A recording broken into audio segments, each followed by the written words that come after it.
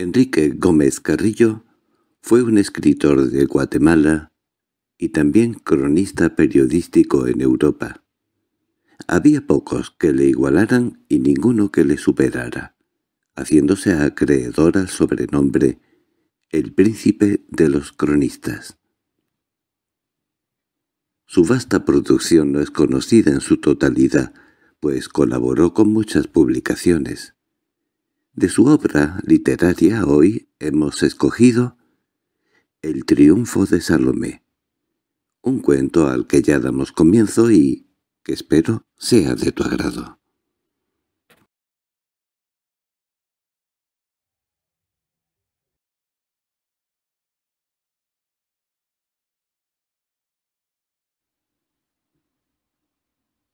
La hilaridad producida por las excentricidades macabras de las hermanas Big Flowers se hubo apagado en el murmullo de las últimas sonrisas, una bailarina surgió del fondo de las decoraciones, blanca como una estatua en la transparencia de tenues y vaporosas casas.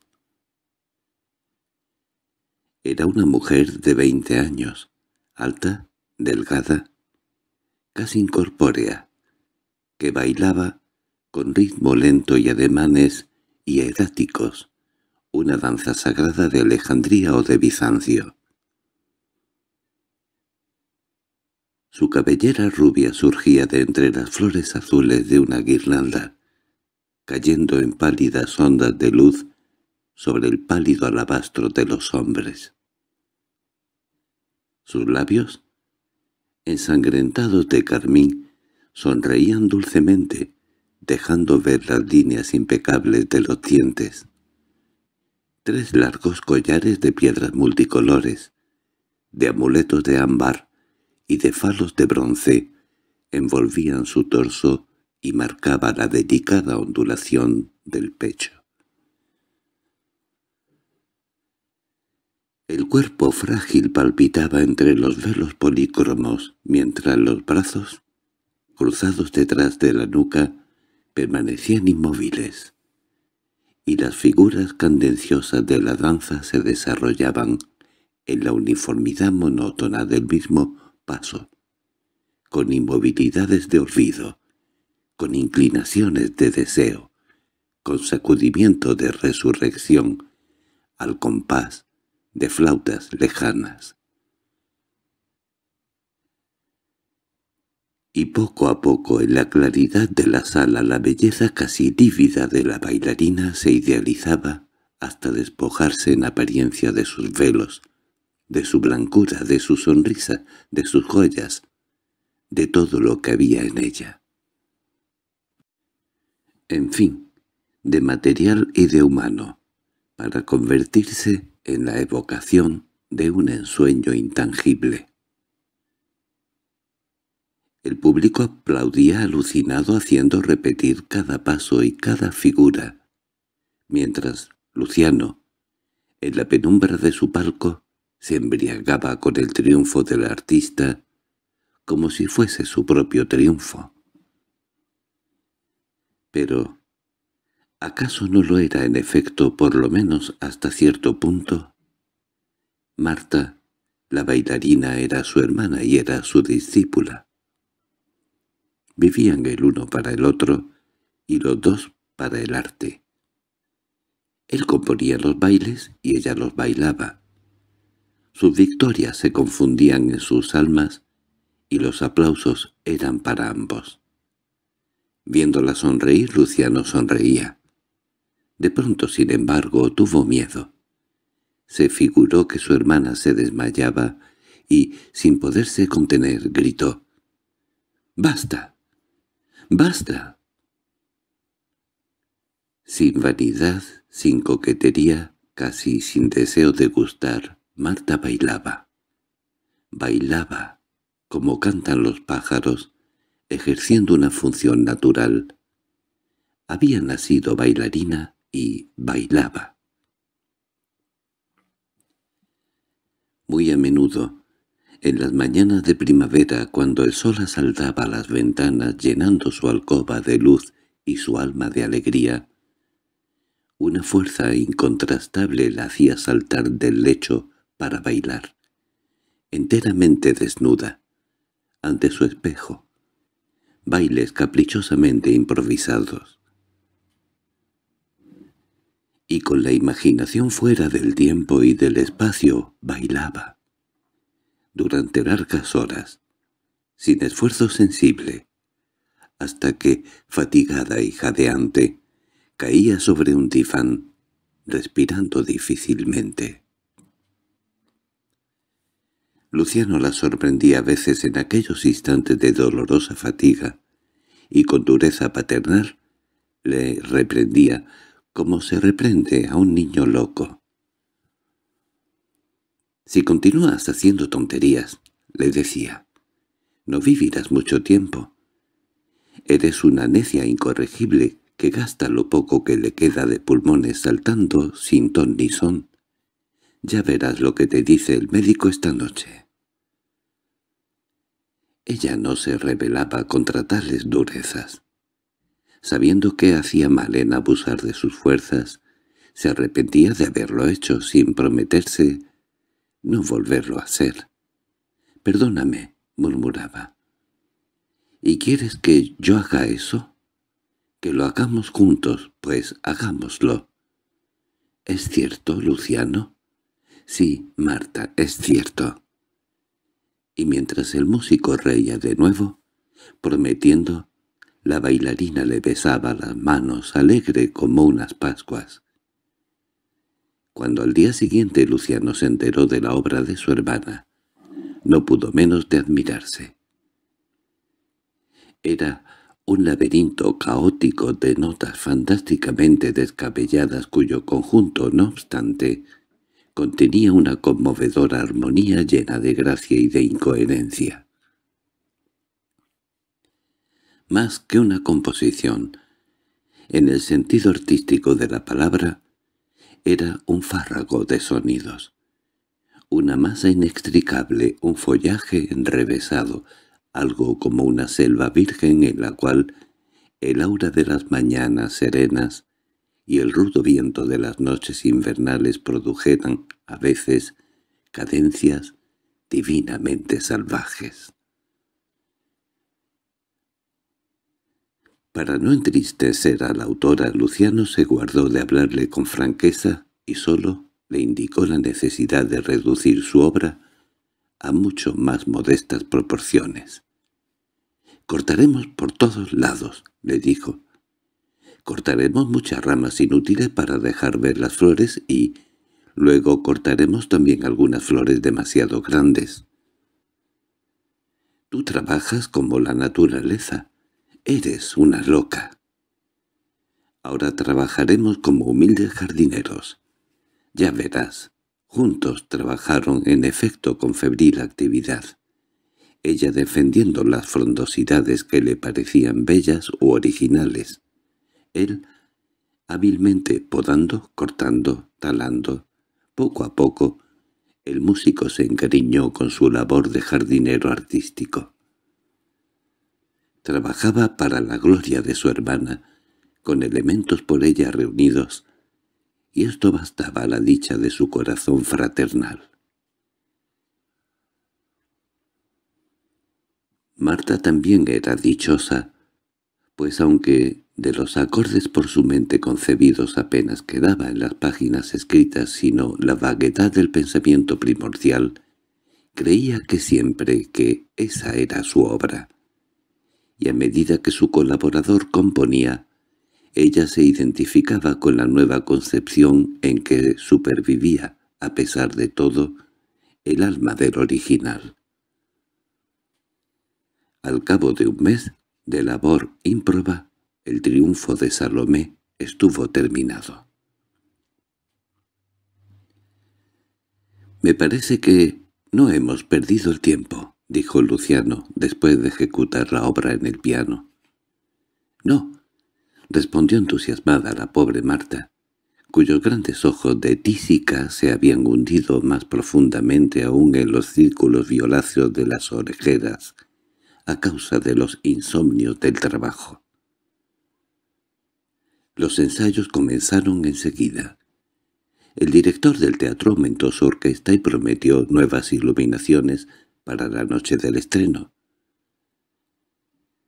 Más inspirada que nunca Marta bailaba. Bailaba todos los días, ensayando su obra al compás de su propia música. Levantaba los brazos al son de las flautas, se esponjaba como una paloma enamorada entre las notas de los violines, se erguía cual un icono de oro al estruendo metálico de los címbalos que rugían anunciando su triunfo sanguinario. Era dichosa. Sus piernas esculturales, más ágiles que nunca, palpitaban eternamente, como movidas por una fuerza oculta que no estaba en armonía con el vigor de su pecho debilitado. Sus pies parecían desconocer la fatiga, y, siempre inquietos, marcaban sin darse punto de reposo el ritmo de la danza sagrada, crispándose a cada instante en el estuche diminuto de los zapatos.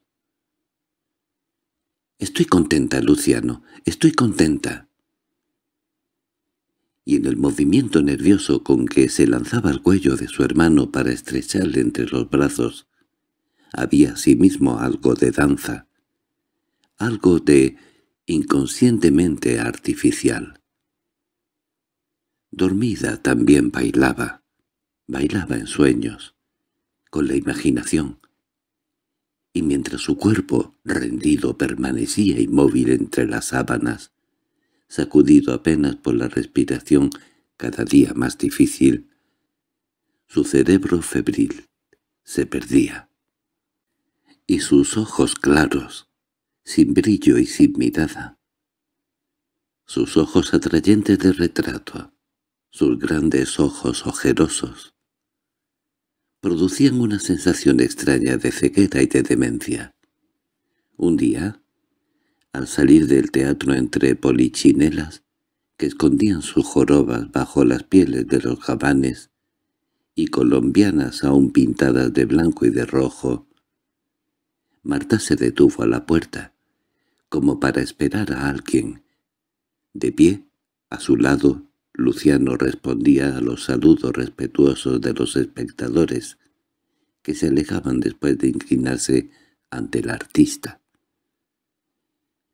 La noche estaba clara, y en el horizonte la luna brillaba cual un ópalo inmenso, haciendo más blanca aún, con su luz, la blanca silueta de la bailarina. —¿Nos vamos? —preguntó al fin Luciano. —En el interior no hay nadie ya. —Sí —respondió ella—, vámonos. Y luego, tímidamente, —pero no a casa. No nos encerremos aún. ¿Está tan hermosa la noche? Además tengo que hablarte de cosas muy serias que van a hacerte reír. Llévame al retiro a respirar un instante el aire de los árboles nuevos. Allá te contaré mi secreto, aunque te burles de mí. En el carruaje que los conducía por el prado, Luciano trató de sondear el alma de su hermana para sorprender sus secretos, pero ella no quiso hablar sino de asuntos muy frívolos. Las cosas serias te las diré en el retiro. Curioso. ¿Estaría enamorada? Para las mujeres solo el amor es serio. ¿Enamorada? ¿De quién? ¿Desde cuándo? Porque hasta entonces sus bellos ojos no habían parecido nunca fijarse con complacencia en hombre alguno, sus más apasionados adoradores, los artistas enamorados de su belleza o subyugados por su genio, los banqueros calvos atraídos por la blancura de su cuerpo, los estudiantes barbilampiños que le envidiaban ramilletes de violetas. Todos sus adoradores, en fin, se habían cansado de esperar en vano una frase que fomentase en ello la ilusión, y uno tras otro se habían alejado para correr en pos de más hospitalarias ilusiones. ¿Enamorada? No. ¿Enamorada ella? que apenas tres días antes hablaba aún del amor como una pasión secundaria casi inferior. Indigna en todo caso de ocupar por completo el corazón de un artista, Luciano se devanaba los sesos tratando de adivinar los secretos de su hermana. ¿Qué sería? El carruaje se detuvo al fin bajo los árboles raquíticos del retiro. ¿Y ahora me contarás esas cosas tan importantes? Marta estrechó con ardor la diestra de su hermano. —Sí —repuso—. Pero no te burlarás de mí, ¿verdad? —No. ¿De verdad? Mi palabra de honor. Pues bien, tengo que confesarte que he usurpado tus funciones componiendo. En músico se echó a reír. «¿Ves que sí te burlas?» murmuró ella tristemente. Luego continuó hablando muy deprisa, como avergonzada de lo que sus labios decían. «He compuesto un baile, con su música y todo. Es un baile que nada vale al lado de los tuyos, un puro capricho de mujer mimada. Un baile desordenado y tonto. Al principio me figuré que nunca lo bailaría ante el público. Pero después, a medida que lo he ido ensayando, su música se ha convertido para mí en una obsesión, y hasta he llegado a creer que tal vez, si tú quisieras ayudarme, se llama El triunfo de Salomé. Pero naturalmente yo no puedo escribir la partitura ni menos aún instrumentarla. ¿Y quieres que yo haga eso? Que lo hagamos juntos. Pues hagámoslo. ¿De verdad, Luciano? Sí, Marta, de verdad. Y mientras el músico reía de nuevo prometiendo la bailarina le besaba las manos, alegre como unas pascuas. Cuando al día siguiente Luciano se enteró de la obra de su hermana, no pudo menos de admirarse. Era un laberinto caótico de notas fantásticamente descabelladas, cuyo conjunto, no obstante, contenía una conmovedora armonía llena de gracia y de incoherencia más que una composición en el sentido artístico de la palabra. Era un fárrago de sonidos, una masa inextricable, un follaje entrevesado, algo como una selva virgen en la cual el aura de las mañanas serenas y el rudo viento de las noches invernales produjeran, a veces, cadencias divinamente salvajes. Para no entristecer a la autora, Luciano se guardó de hablarle con franqueza y sólo le indicó la necesidad de reducir su obra a mucho más modestas proporciones. «Cortaremos por todos los lados», le dijo. «Cortaremos muchas ramas inútiles para dejar ver las flores, y luego cortaremos también algunas flores demasiado grandes. Tú trabajas como la naturaleza, eres una loca». Ahora trabajaremos como humildes jardineros. Ya verás. Juntos trabajaron en efecto con febril actividad. Ella defendiendo las frondosidades que le parecían bellas u originales. Él, hábilmente, podando, cortando, talando. Poco a poco, el músico se encariñó con su labor de jardinero artístico. Trabajaba para la gloria de su hermana, con elementos por ella reunidos, y esto bastaba a la dicha de su corazón fraternal. Marta también era dichosa, pues aunque de los acordes por su mente concebidos apenas quedaba en las páginas escritas, sino la vaguedad del pensamiento primordial, creía siempre que esa era su obra, y a medida que su colaborador componía, ella se identificaba con la nueva concepción en que supervivía, a pesar de todo, el alma del original. Al cabo de un mes de labor improba, el triunfo de Salomé estuvo terminado. «Me parece que no hemos perdido el tiempo», dijo Luciano después de ejecutar la obra en el piano. «No», respondió entusiasmada la pobre Marta, cuyos grandes ojos de tísica se habían hundido más profundamente aún en los círculos violáceos de las orejas a causa de los insomnios del trabajo. Los ensayos comenzaron enseguida. El director del teatro aumentó su orquesta y prometió nuevas iluminaciones para la noche del estreno. Más inspirada que nunca, Marta bailaba. Bailaba todos los días, ensayando su obra al compás de su propia música.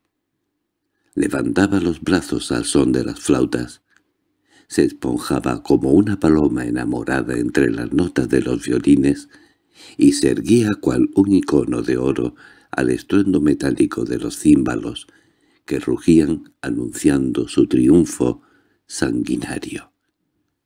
Era dichosa. Sus piernas esculturales, más ágiles que nunca, palpitaban eternamente como movidas por una fuerza oculta que no estaba en armonía con el vigor de su pecho debilitado. Sus pies parecían desconocer la fatiga y, siempre inquietos, marcaban sin darse punto de reposo el ritmo de la danza sagrada, crispándose a cada instante en el estuche diminuto de los zapatos.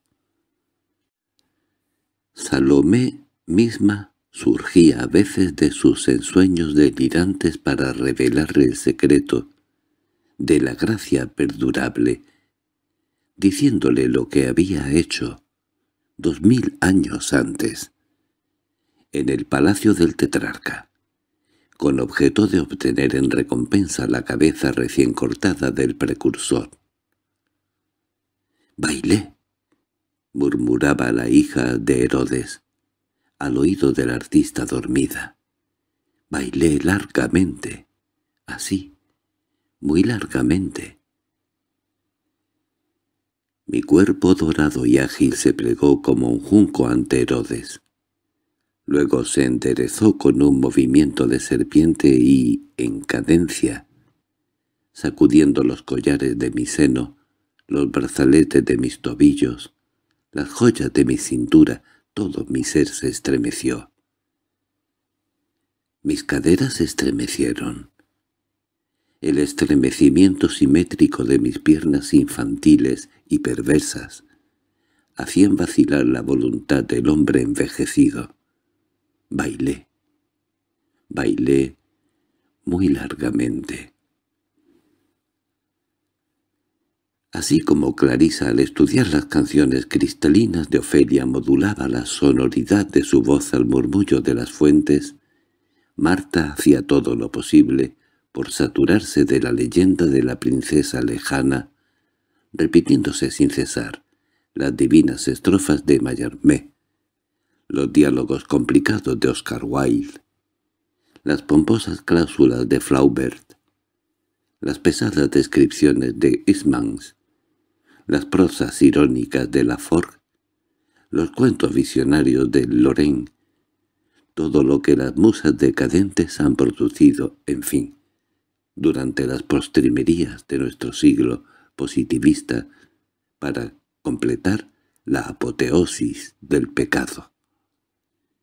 Pero no eran los grandes poetas, ni menos aún los sabios historiógrafos los que mejor le habían hecho sentir la intensidad inconsciente de la delicada flor de lujuria que pudo despertar a la bestia muerta en el ser decrépito del rey.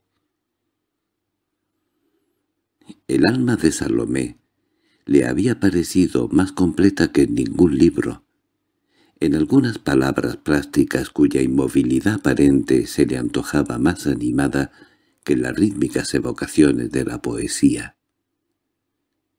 En el espacio de algunas semanas, de la bailarina se convirtió en un verdadero museo de grabados y de fotografías que representaban a la hija de Herodes, en todas las actitudes en que el ensueño de los artistas ha sorprendido su imagen durante veinte siglos de supersticiosa idolatría.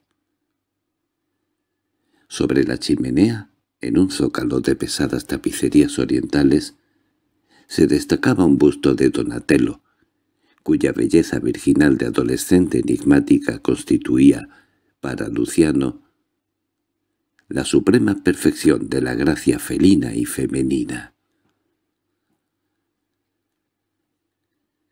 Así debe de haber sido Salomé, decía el músico. Luego se veían prendidas con alfileres en las cortinas clavadas en las paredes y embutidas en los marcos de los espejos, muchas Salomés trágicas e infantiles, exquisitas y bárbaras. La Salomé de Leonardo da Vinci, mostrando con un ademán orgulloso la cabeza del Bautista, que un esclavo la presenta en una bandeja de oro. La Salomé de Tiziano, en una copia muy antigua hecha por un guardián de El Escorial, levantando ante su madre el trofeo, sangriento y sagrado. La Salomé ligera como una pluma del fresco de Domenico Giandajo. La Salomé de Bondri elegante y casi nada tradicional, sacudiendo los brazos la Salomé de Gustavo Moru, en una fotografía iluminada, bailando en medio del templo ante el tetrarca vestida con más lujo que las reinas de Egipto. Casi impúber y ya excitante y ya perversa, y segura ya del prestigio irresistible de su sexo.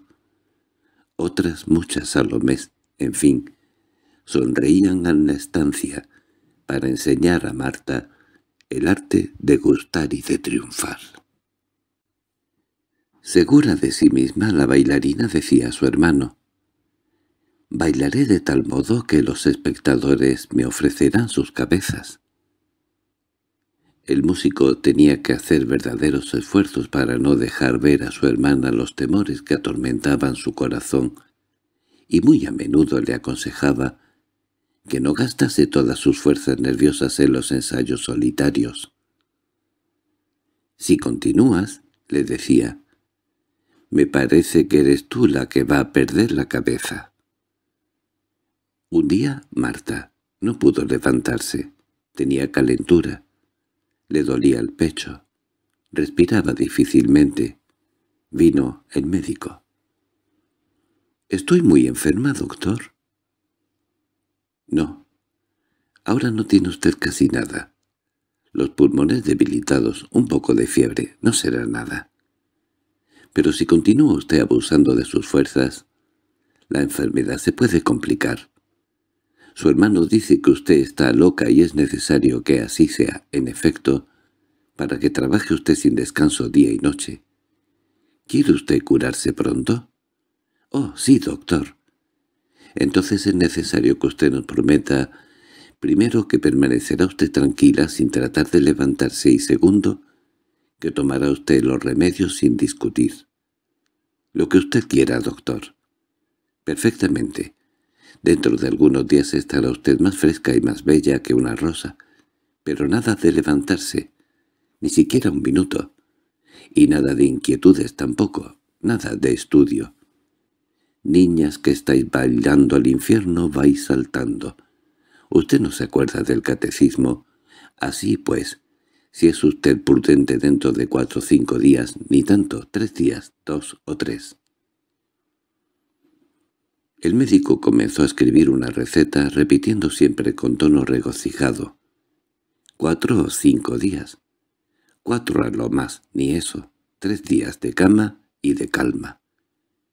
Mientras tanto Luciano, sentado junto al lecho de la enferma, acariciaba las mejillas ardientes de Marta, tratando de tranquilizarla, asegurándole que su mal no tenía importancia ninguna y que el día siguiente estaría curada.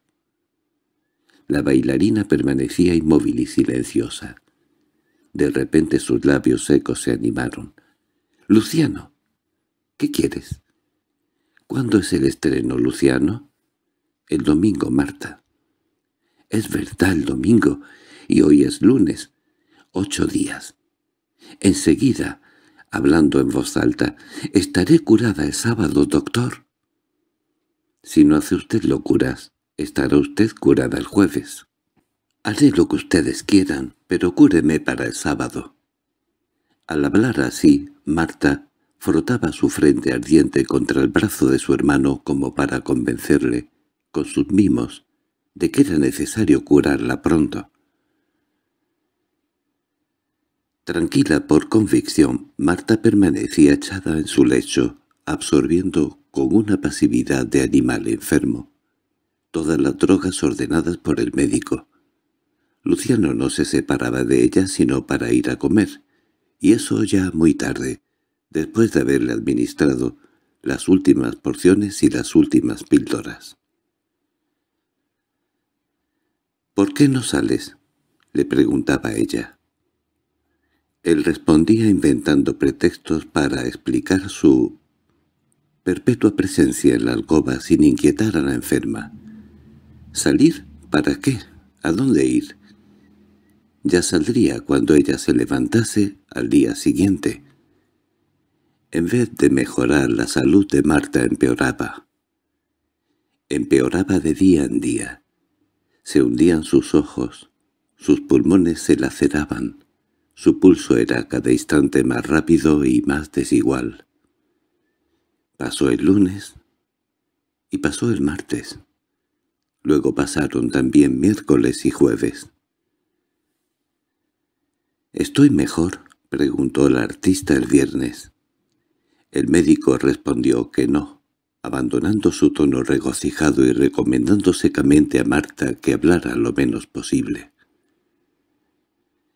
«Si se quiere usted curar», le dijo, «no piense usted levantarse, no hable usted, mucha tranquilidad». Marta no dijo nada. En sus pupilas entristecidas una chispa se encendió, se apagó enseguida, se volvió a encender más intensa y luego agonizó. Lentamente en el aleteo de los párpados, hasta morir ahogada en una lágrima. Desde ese instante sus labios no volvieron a entreabrirse sino para recibir los besos de su hermano que, no sabiendo ya cuál remedio darle para hacerla sanar, multiplicaba sus caricias, tratándola como a una novia, respirando el aroma de sus cabellos rubios, besando sus manos húmedas, halagándola, en fin, con mimos apasionados y frívolos, en el silencio trágico del dormitorio. El domingo llegó también. La bailarina no estaba ni peor ni mejor, su cerebro había perdido la noción del tiempo, la modorra de la fiebre no desaparecía sino cuando los accesos de los desgarradora obligaban a levantar la cabeza para tratar de sufrir menos. Sin movimiento, casi sin vida. Marta permanecía entre las sábanas sudosas, respirando dolorosamente el aire cargado de emanaciones acres, de cretosa y de cloral. Luciano acababa de salir para ir a comer. En la chimenea un reloj dio las diez. La enferma contó las campanadas y al oír la última, un escalofrío hizo temblar todo su cuerpo exagüe. Las diez. La hora del estreno la hora en que el público al verla aparecer vestida de princesa de Israel cubierta de joyas y de amuletos debía aplaudirla, la hora ansiosamente esperada por su alma de artista, la hora de Salomé, la hora del triunfo, la hora suprema a las diez. Impulsada por una fuerza imperiosa, Marta saltó del lecho. Quería bailar. La armonía de sus notas cantaba como una sirena fatal en sus oídos. Todo Madrid esperaba con impaciencia la aparición de Salomé. Quería bailar. Apoyándose en los muebles llegó hasta la ventana y la abrió de par en par. El aire fresco de la noche acarició con su soplo mortal los brazos frágiles que se levantaban ya para marcar el ritmo de la danza sagrada. Quería bailar y bailó. Su torso blanco se crispó con un temblor de agonía. Sus piernas largas y finas se agitaron rápidamente. Sus caderas vibraron, se contrajeron, se encorvaron, se esponjaron, se desgonzaron con la ligereza vertiginosa de la locura. Bailó toda su obra en el espacio de algunos minutos, y luego extenuada, sin fuerza, sin aliento, perdiendo el equilibrio, cayó en una postrera ondulación, envuelta en un rayo de luna que, para verla, había entrado por la ventana. Fin